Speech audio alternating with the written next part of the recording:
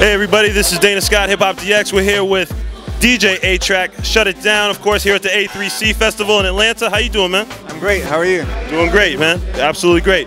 And like I said, you know, I've been following your work for 20 years now. Amazing. You know, dating back to the Peanut Butter Wolf's Subtext Strength Magazine compilation, man, with uh, Madlib. That was one of his breakout, um, you know, CDs. There's Peanut Butter Wolf as well with Aceyalone, way back then. You want to talk about how you you know you got on to that compilation and, and, where that took you from there if you know from that element of say the backpacker uh, you know element and, and, into where you you know started working with uh, other artists you know into Kanye West sure I mean I you know I got my start in the underground hip hop scene and um, you know as a DJ I'm always sort of like looking for what's going on musically that's most exciting at certain periods of time, right? So for me in the late 90s, that was the underground hip hop scene.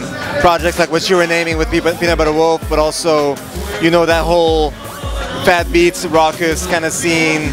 You know, I was friends with Non Phixion in New York, and, and that kind of that set. Um, you know, I used to go. Um, I was growing up in Montreal. I would go down to New York and perform at the Rocksteady Crew anniversaries and that kind of stuff. Stretch and Bobbito's radio show. That's my background.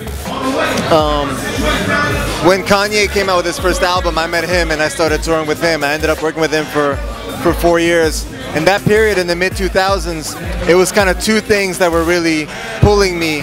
Again, as a DJ, looking for you know exciting stuff.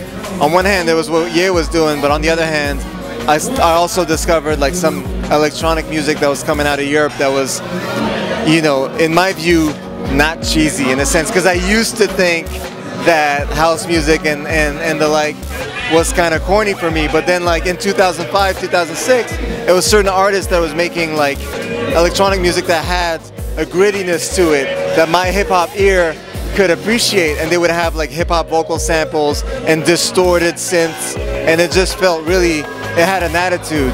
And that's when I started, you know, working in some electronic music into my sets before the word EDM was even coined. But just mixing that up with hip hop and open format DJing and like taking that DJ approach of just looking for fresh beats and anything that I rock with, I just put it in a set. You know, not thinking about what's the genre really. And then I founded Fool's Gold around that time. And the last 10 years for me has been growing more as a producer, remixer, but also having Fool's Gold as a platform to put on new artists also. So does that speak to your synergy with Kanye?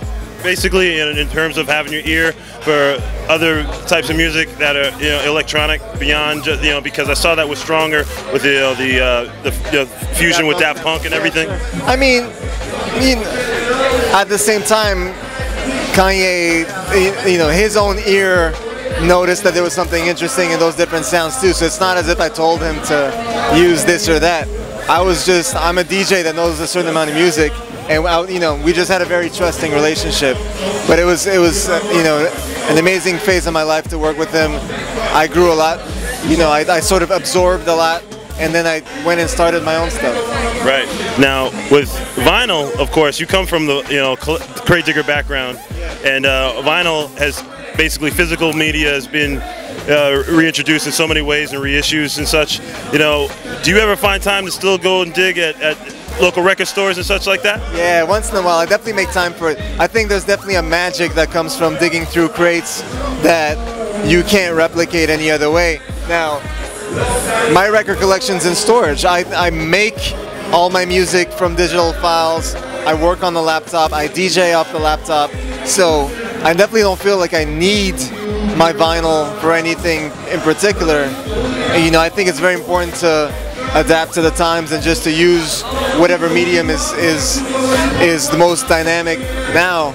Um, but do I do I take a Sunday off here and there to go to a record shop and dig through crates? Sure, I love it. I love the smell of it, you know, and I love that. Yeah, and just yeah, that discovery process. You don't know what's going to be in those bins.